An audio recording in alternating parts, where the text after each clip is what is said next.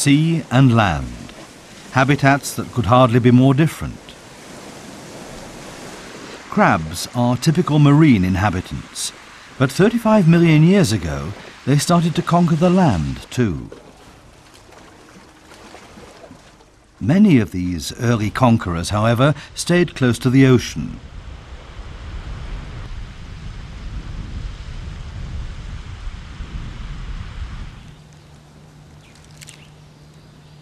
But some became independent of the ocean and invaded distant, unusual habitats.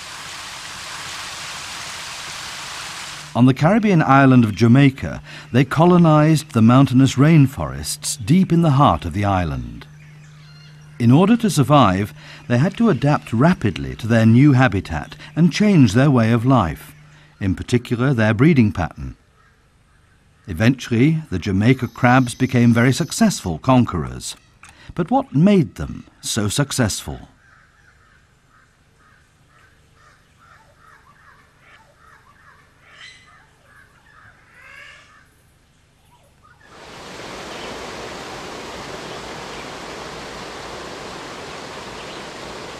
For many of us, Jamaica means sunshine, palm trees and sandy beaches. For the Taino, the first inhabitants of Jamaica, the name Xaymaca meant land of wood and water. Even today, in spite of vigorous deforestation, there are still parts of the island covered with rainforests, in which crystal clear brooks and rivers find their way to the ocean. Jamaica is the youngest of the West Indian islands. Only 12 million years ago did this former coral reef emerge from the ocean. Today, a thick layer of limestone covers large parts of the island. In the course of millennia, rain eroded the limestone, and thus a characteristic karst landscape developed.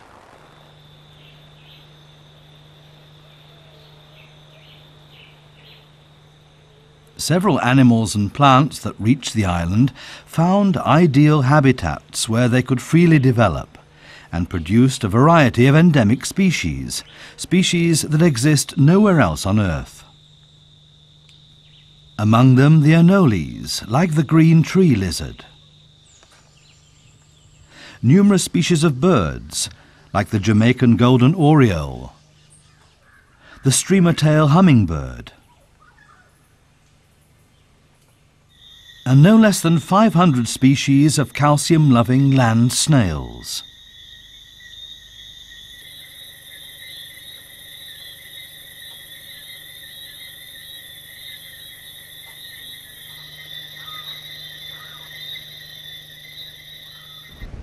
One of the island conquerors was an inconspicuous crab, which left the ocean about four million years ago and invaded the island.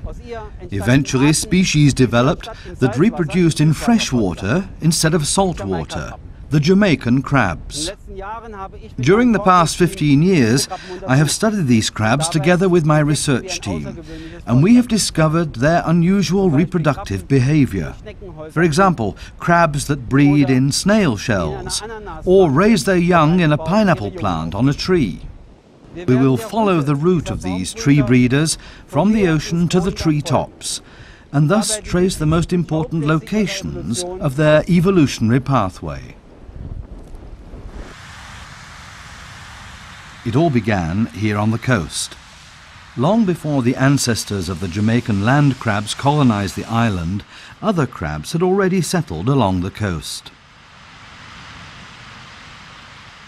These coastal crabs were reliant on the sea, like being trapped in a dead-end street of evolution. The ghost crabs are one of them. They inhabit the sandy beaches, an area where the tides determine their daily rhythm of life.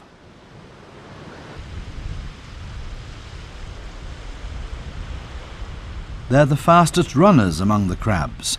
With their stalk eyes, they always have a good view of their surroundings.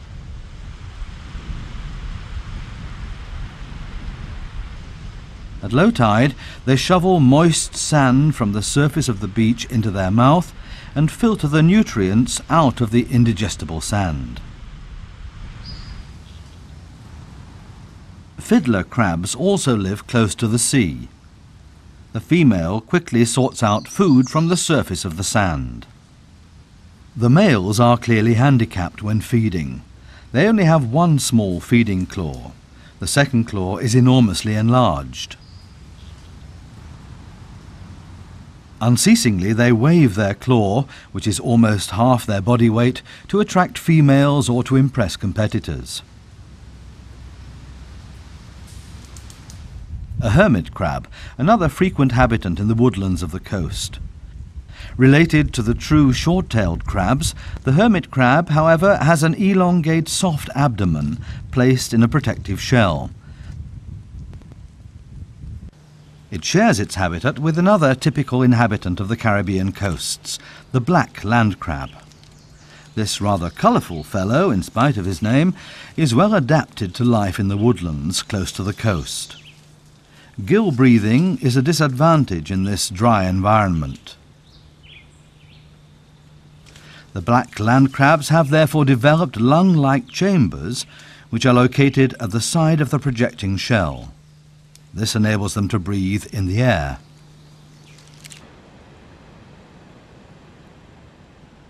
With a shell up to 11 centimetres wide, the white land crab is the largest among the coastal crabs and also occurs in different colours. Large males have a tremendously enlarged claw. They dig burrows up to two metres deep down to underground water, but they too remain close to the coast. Ghost, fiddler and land crabs have one thing in common. Their young, the planktonic larvae, can only live and develop in seawater. This female carries more than 100,000 tiny eggs underneath her abdomen. Her reproduction is typical for most other crabs that live near the coast.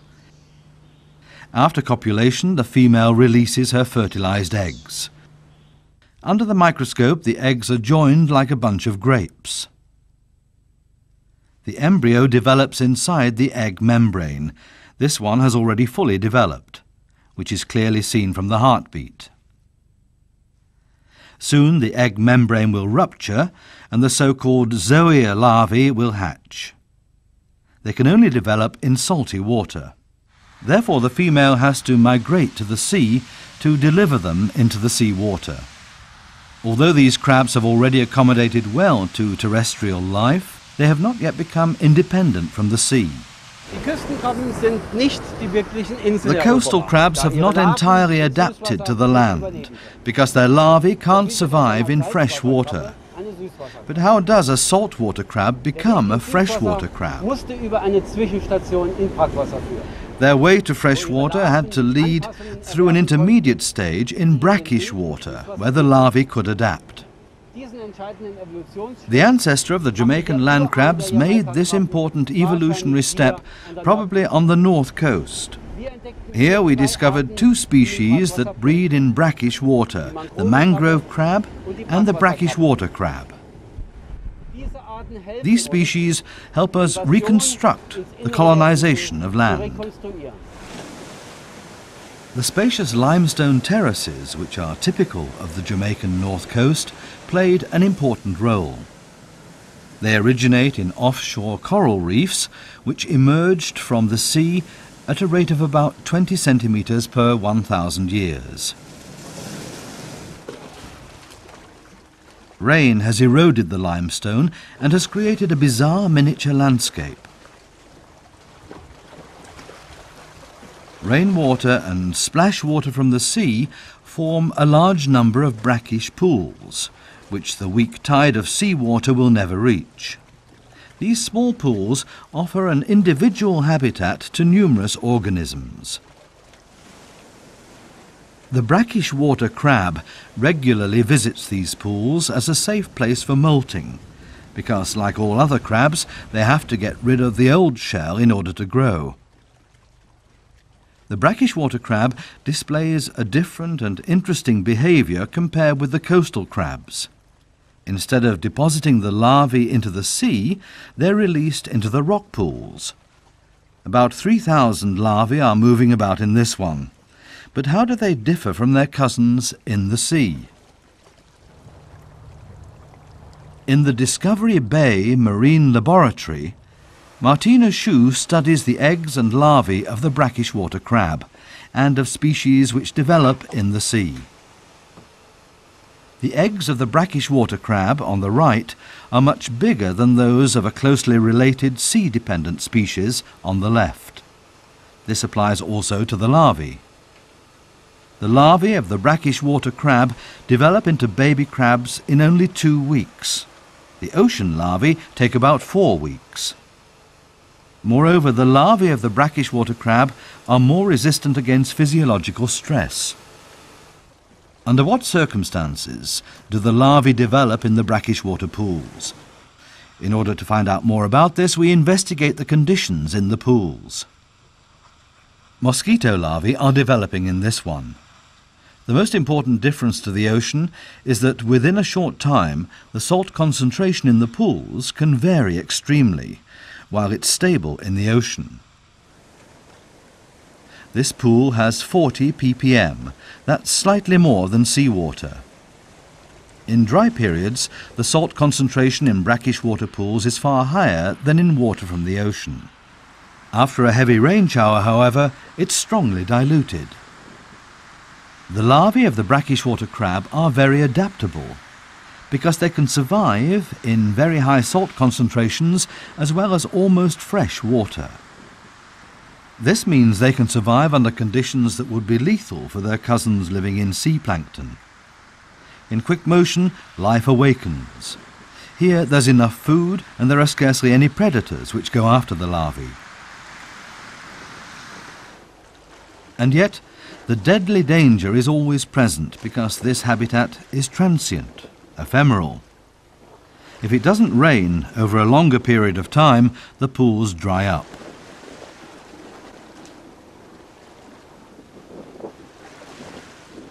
Only pure salt remains. Under these variable conditions, it's important for the larvae to develop quickly when they become young crabs, they can leave the pool. The brackish water crab demonstrates an important stage of evolution during the colonization of the island. From brackish water to fresh water is only a short way. The mangrove swamps provide the most important contact area between salt water and fresh water. In Jamaica, mangrove swamps are often not very far from the rock pools.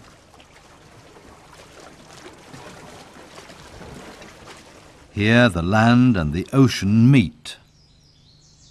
Fresh water from the river gets mixed with salt water from the sea and becomes brackish water, an important link to the mainland for many sea-living animals. A turtlefish looking for crabs comes into the mangrove swamp with the weak flood tide.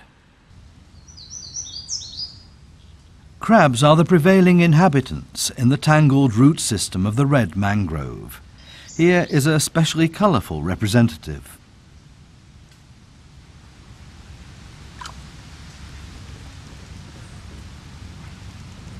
The leaves of the mangroves are their favourite food, but since most of the crabs are poor climbers, they have to wait until the leaves drop off.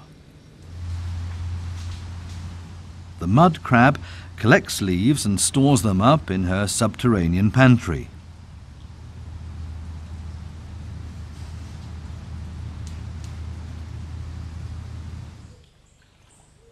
The tree crab, by comparison, is a very skilled climber.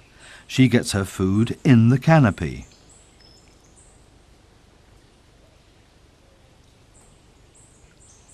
The mangrove crab lives here too. It's closely related to the Jamaican land crabs, whose trail we are following. The larvae of this species develop in isolated mangrove pools, and their adaptations are similar to those of the brackish water crab's larvae in the rock pools. It's very likely that the forerunner of the Jamaican land crabs looked similar to this one. Anyhow, they, or better the larvae, had the decisive ability to become independent of the sea and invade the fresh water. Mangrove swamps mostly lie in river and brook deltas. On our way to the forest brooks, we come across one of the last timid sea cows in Jamaica, which is looking for food in the river mouth. Waterways connect the ocean directly with the mainland. The Jamaican crabs followed these waterways and quickly conquered the interior of the island. Nothing could stop these sturdy animals. There were no other competing crabs around. They were the first ones in this territory. Now adapted to life in fresh water, the crabs found an ideal new habitat in the brooks. Pure water, rich in oxygen, offers access to food and contains a lot of calcium, which dissolve from limestone. Calcium is an important substance for crabs to build their shells. Crabs inhabited the network of the river and watercourses in Jamaica within a rather short period of time. This freshwater shrimp, originally also a marine inhabitant, has invaded the brooks too.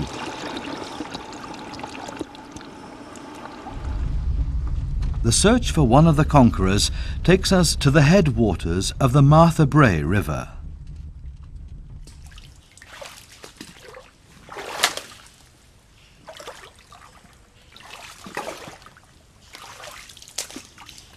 This stream has cut deeply into the red soil.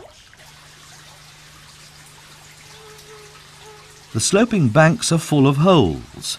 These are crab burrows, a real crab city.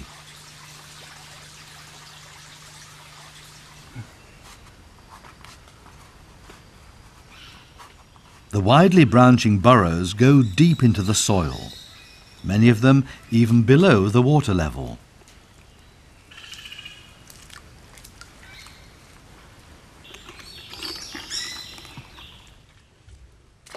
At last, a freshwater crab a relatively small female carrying a cluster of orange eggs.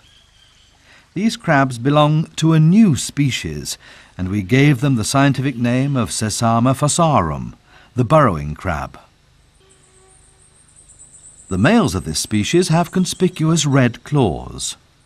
These crabs mainly feed on plant material. Their gill breathing requires water regularly, Therefore they stay close to the stream when roaming through the forest. Since they don't move too far away from the water, the crab populations in the various river systems are genetically isolated from one another and developed into different species. During our investigations of different river systems, we discovered four new species of these freshwater crabs. It's likely that further unknown species will follow.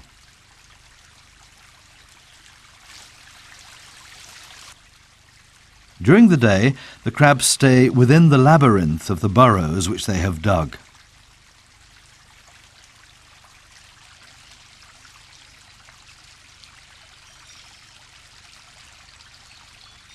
Some of the tunnels end up in a chamber. A crab couple lives in this one. The male has the larger claws. Often we find several crabs in such a chamber, a big male with his harem ladies.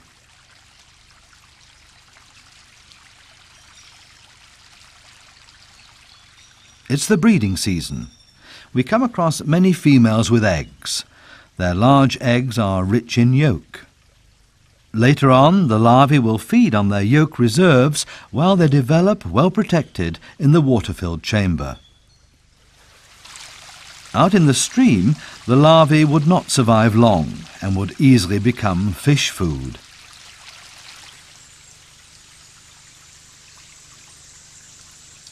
Only a small amount of water flows above ground in Jamaica. Most of it streams through an extensive network of karst caves. There are more than 1,000 limestone caves on Jamaica. The Windsor Great Cave is one of the largest cave systems on the island. An expedition into this system will show whether the crabs have also gone underground. Drip water forms stalactites and stalagmites, bizarre structures that make this cave a beautiful but eerie place. The Windsor Great Cave accommodates a large population of bats. The excrement and skeletons of millions of perished bats result in a layer of guano several metres thick on the floor. Guano is vital for the rich cave fauna. Once we become used to the vast number of flies, we can admire these remarkable cave crickets. Tactile organs are more important than eyes in permanent darkness. They never lose track with their enormously extended antennae, which are in constant motion, an early warning system that makes possible an early escape. The predator lives right amongst them. The whip spider also gropes through the darkness and uses the enormously extended front legs for orientation and prey detection. After searching the cave for several kilometres, we finally discovered this crab, a true cave crab. About two million years ago, the ancestors of this crab followed the rivers and streams below ground. Now they've become adapted to this special habitat. These crabs also have the characteristics of cave dwellers. Their body is covered with long tactile hair, which helps them to feel their way through the darkness. In continuous darkness, vision and body colour have lost their importance. The eyes are small and the colour of their body has faded.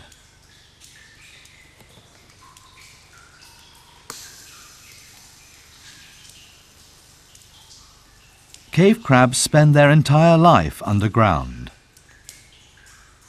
They are excellent climbers and have no problems with steep walls.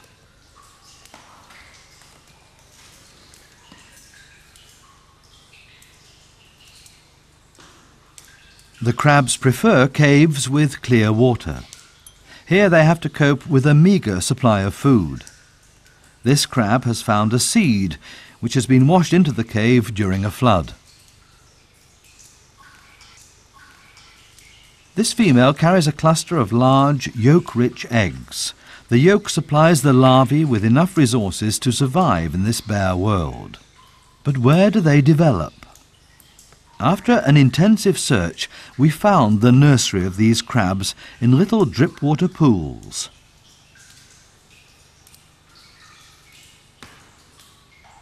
Here they develop within one week into baby crabs.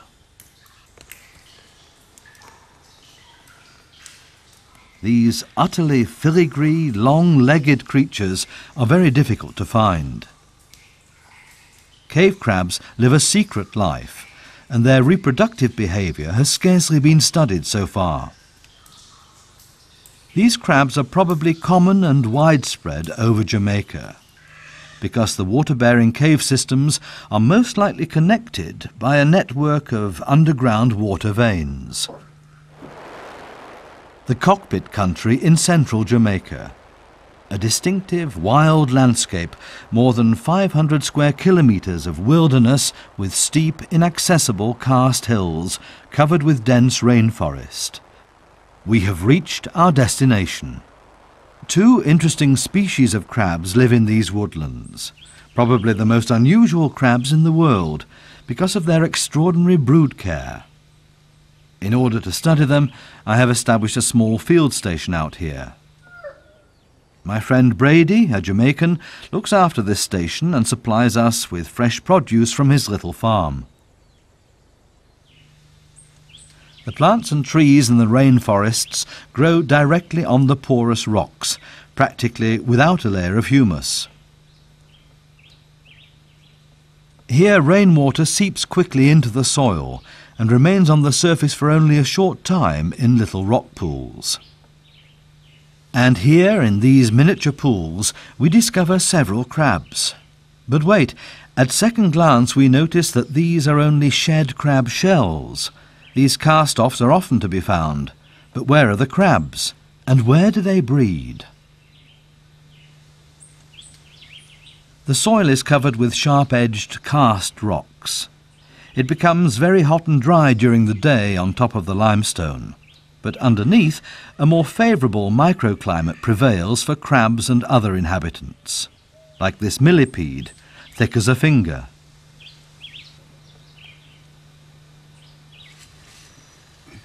It took us several years to solve the riddle. Snails. Land snails find ideal living conditions in these karst areas.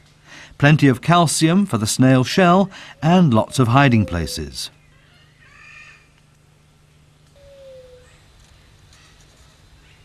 The big pleurodont snails spend the dry, warm daytime underground where it's cool and moist.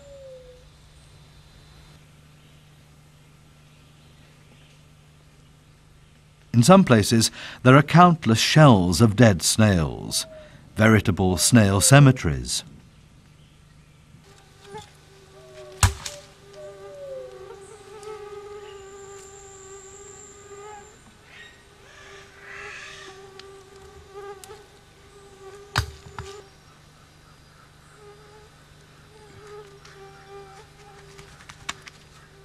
Do the crabs hide in snail shells? Indeed, this crab has chosen a very ingenious home.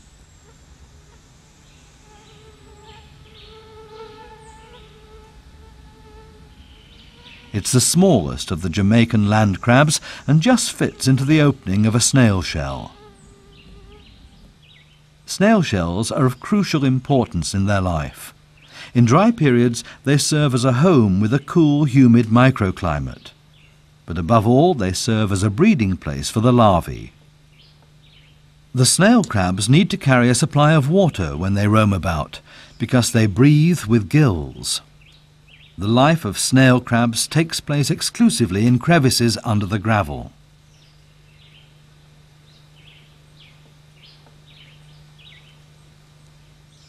Here, life-giving water comes from dew, which settles on the plants in the cool morning hours.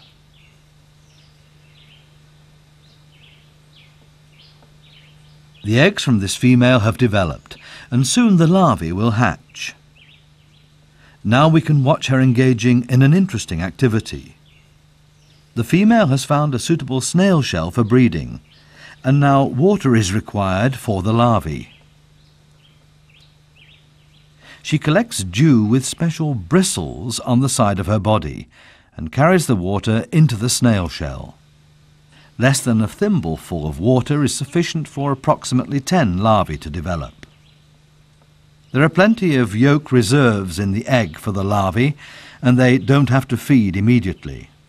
In only three days, the colourless larvae have developed into baby crabs. There's a favourable microclimate inside the snail shell, whereas outside the larvae would dry out quickly and die. Nevertheless, the young can't do without their mother in order to survive. The mother protects them from predators, provides water, and feeds them. She carries leaves, seeds, and fruit into the snail shell and cuts the leaves into small chips. The little ones live, so to speak, in a vegetable soup. Occasionally the mother returns with a millipede. After about three months, the juveniles are relatively large. The space in the snail shell becomes too small. Now it's time for them to depart and live on their own. Early morning at the Windsor Field Station. The nights are cool here. The humid air has cooled down and covered the plants with dew. This time I'm on the track of a crab that, in the true sense of the word, reached the apex of the invasion from the sea onto land.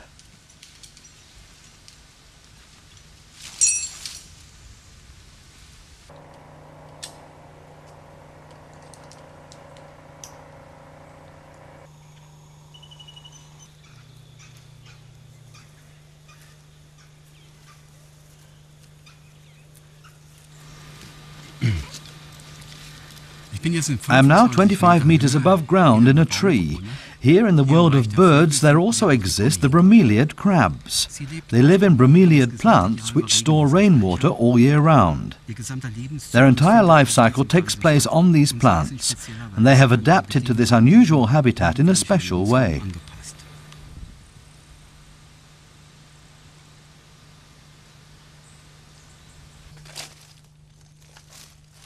On Jamaica, there are also large bromeliad plants on the ground.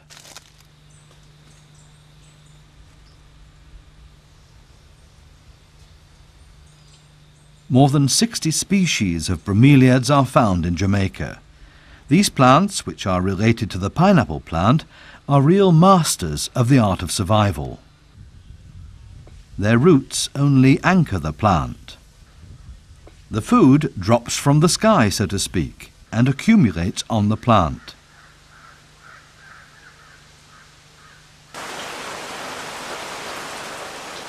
April.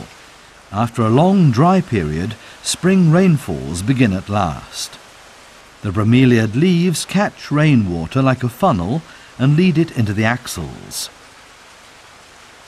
Here the water is gathered into small pools.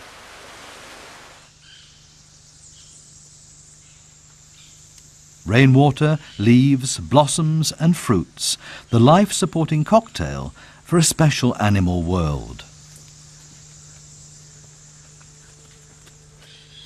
And finally, here is the bromeliad crab. We're in luck. During daytime one rarely sees these shy animals.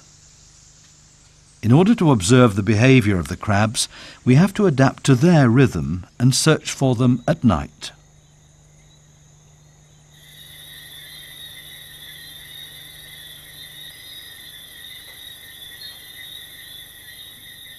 The flattened body of the bromeliad crab is an adaptation to life between the narrow leaf sheaths.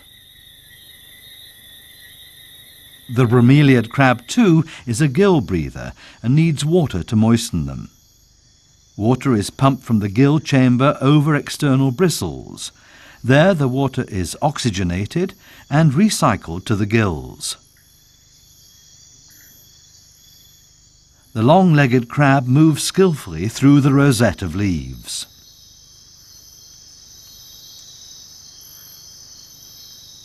The bromeliad crabs are excellent hunters. There's hardly a visitor who's safe from their sharp pincers. This time the crab has caught a cross spider.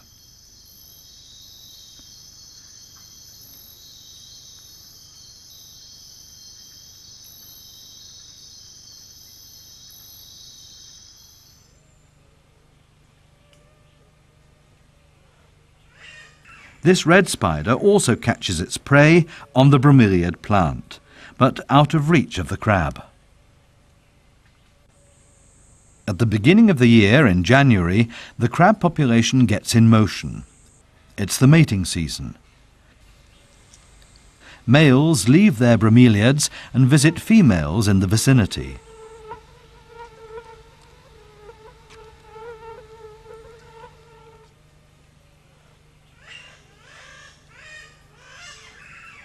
Slowly and carefully the male enters the territory of a female. With the tip of its claws he tests the water to see whether the female is willing to mate. The strong pincers are used with the utmost caution on this visit. Everything happens in slow motion.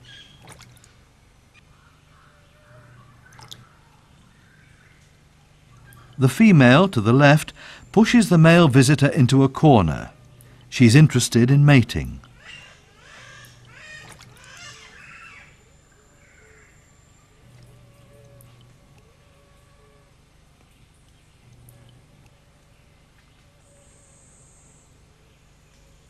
As soon as mating is over, the lover is pushed rudely off the bromeliad. The female has settled in a large bromeliad. Here is everything she needs for living. If all goes smoothly, the female can raise her young here for the rest of her life, which means about two to three years. Now April has come, and the female gives her undivided attention to reproduction. For two months, the female carries about 80 eggs. Soon the larvae will hatch, and a strenuous time is to come. But first of all, the female will have to prepare a wet nursery for the arrival of her brood. Many leaves have accumulated, and the process of decomposition uses oxygen from the water and turns it extremely acid, and therefore it becomes a lethal trap for the brood. House cleaning. First of all, she has to remove the leaves from the axil. She's building a nest of water in which the larvae and young crabs will shortly develop.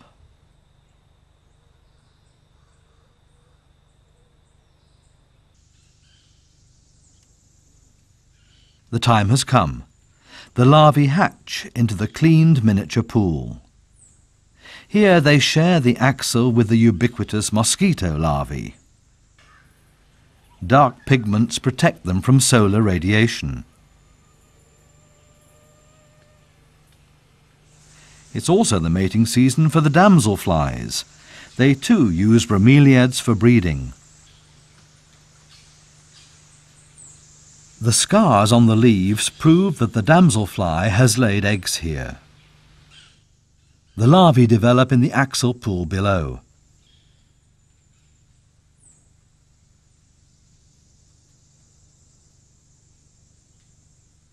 Yolk-rich crab larvae are a delicacy for these voracious predators. A single damselfly larva in the nursery of the crabs would wipe out the entire brood. But the mother watches over her young and kills and devours the predator. One and a half weeks later, the critical phase is over for the larvae. Tiny miniature crabs now inhabit the axil. The little ones have to eat and grow now, but there's nothing to nibble in the tidy nursery. Again, the caring mother is called for. The mother maintains a constant vigil on the bromeliad at night. Millipedes chew up the decomposing leaves and frequently visit bromeliads where leaf litter accumulates. She strikes fast.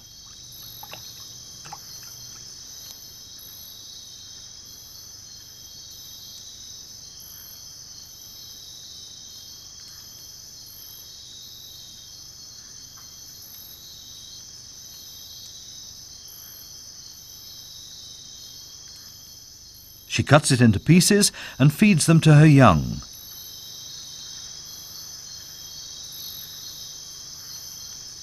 Millipedes are a special delicacy for them.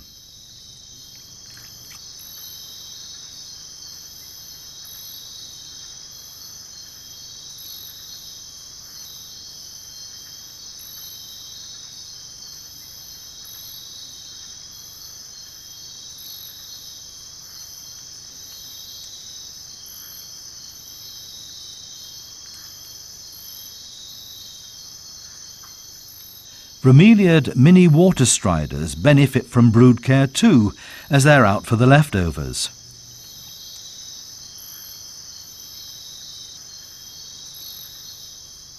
Well taken care of and well protected, the young develop splendidly, because mother has solved another problem too.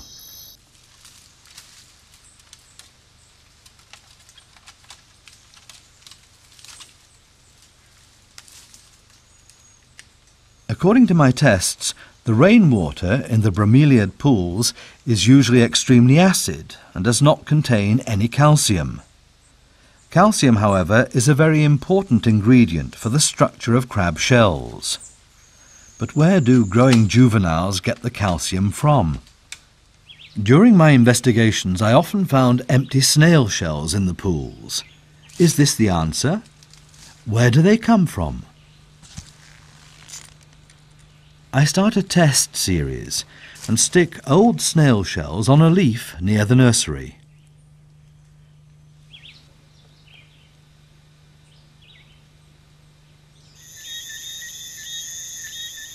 Next morning the snail shell has disappeared from the leaf. The mother has indeed carried the snail shell into the nursery.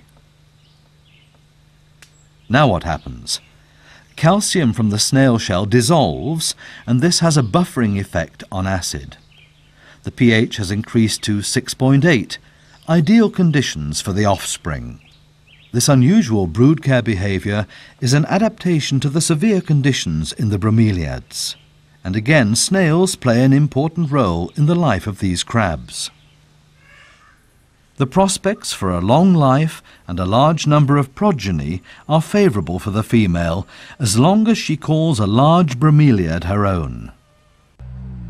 Occasionally a disaster happens.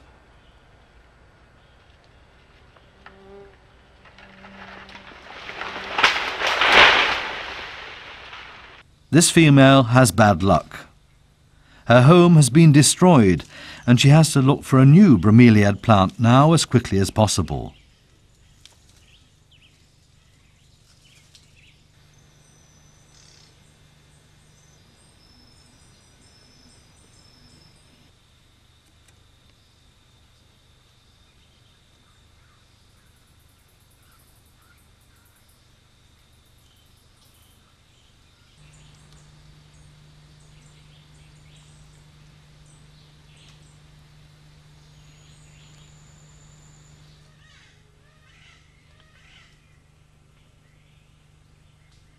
The tranquility is deceptive. The resident female is not pleased about the visit, above all because this visitor claims her breeding territory.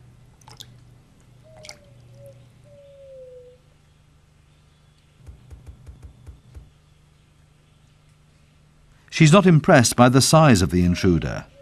No compromise.